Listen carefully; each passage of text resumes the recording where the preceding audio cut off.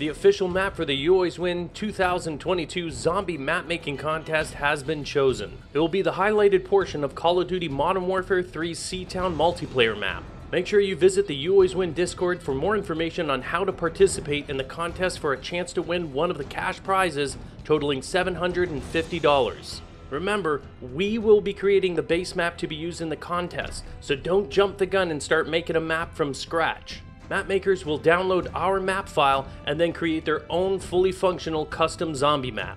Right now, you have about a two to three week window to start planning your maps based on the area we have highlighted, as we need this time to create the downloadable base map to be used by all participants. For more information on how you can participate, please visit the Zombie Map Contest area of the You Always Win Discord.